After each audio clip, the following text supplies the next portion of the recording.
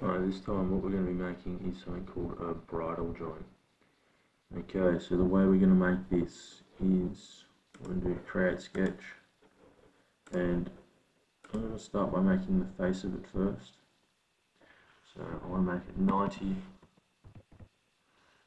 I only want to make it 19 mils wide, but I want to make it 90 long. Finish that sketch, and this is going to be extruded by 200, like so. Just make it easier. Now, it is very close to a mortise and tenon joint, but it's going to go all the way through, so it's a proper framing joint. So I'm going to select the top and I want to do my line, my center line with construction steps on, construction step lines on, like so. And basically what I'm going to do here is I'm going to make it as even as possible. So I'm going to do about 6 mils or 7 mils in the middle and then it's going to be 6 either side.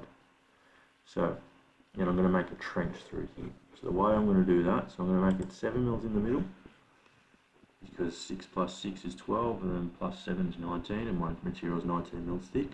So it's 7 in the middle, so 3.5 either side. 3.5 here.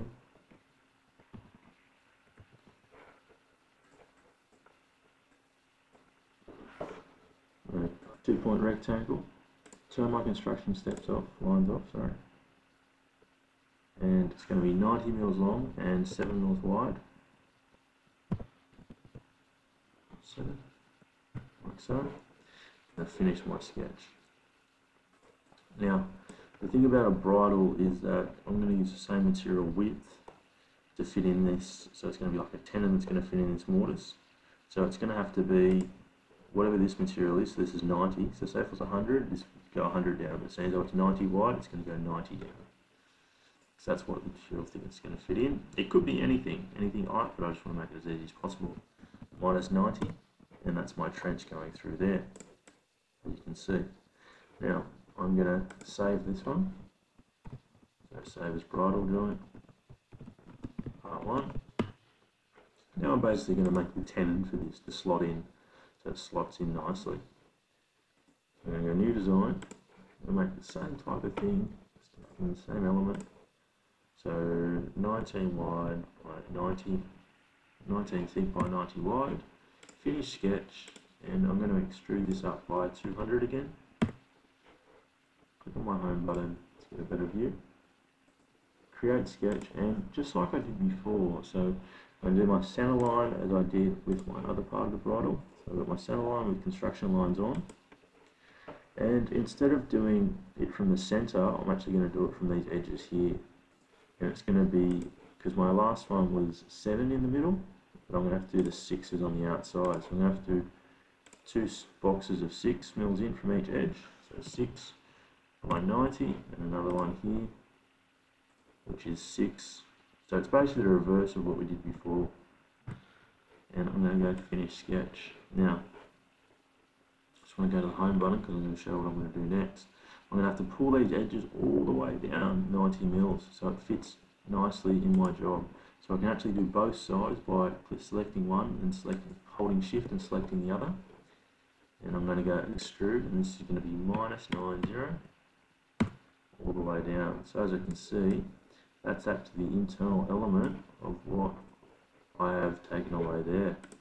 And I'm going to save as bridle joint part 2 go save. New design, save as completed. Bridle joint. And I am basically going to add those materials. So, show panel. I'm going to add the groove one first. I can find it. As you can see, I've done a lot and I'm going to insert this one, the bridle joint.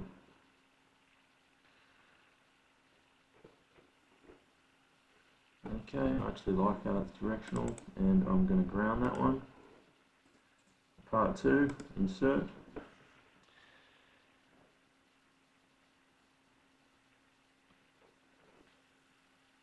Joint so sounds on top of each other. And close that to make it a bit easier.